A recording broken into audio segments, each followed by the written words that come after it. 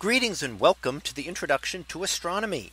One of the things that I like to do in each of my introductory astronomy classes is to begin the class with the astronomy picture of the day from the NASA website that is apod.nasa.gov apod. And today's picture for August the 7th of 2021. Well, it is titled Jezero crater raised ridges in 3D. So what do we see here? Well, here is an image from Mars taken by the Ingenuity helicopter on its 10th flight above Mars.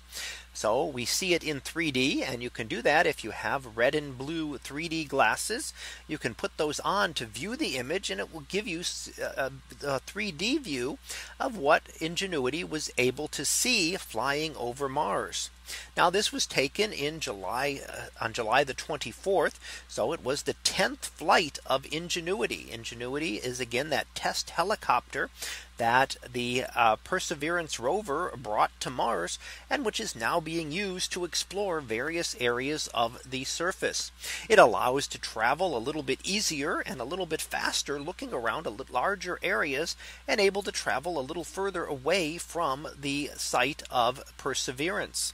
And that means it can get over terrain that Perseverance might not be able to travel such as the steep wall of a crater that Perseverance could not climb up over.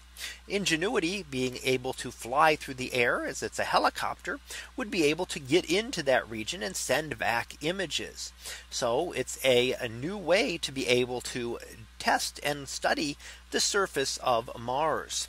Now this will continue and we can expect that with future rovers that the helicopters with this one being such a great success will be continued and will be added on as part of the uh, uh, part of the rover and will be something that will be used and of course will include then more and more instrumentation as they're able to get more complex. This first one is kind of just a test to try out how well it was going to work in the very thin Martian atmosphere. And what we're seeing so far is that it seems to have worked out very, very well.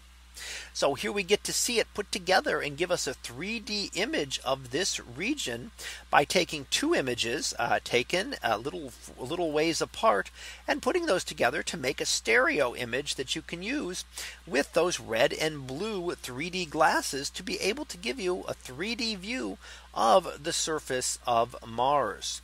So continued study by perseverance and by ingenuity will continue to help us to learn more and more about one of our nearest neighbors in space and probably the one that is the most Earth like, even though it doesn't have a thick atmosphere like Earth and is certainly not habitable at present. In the past, it was probably the most Earth like of any ob object in our solar system. So that was our picture of the day for August the 7th of 2021. It was titled Jezero crater raised ridges in 3D. We'll be back again tomorrow for the next picture. So until then, have a great day, everyone, and I will see you in class.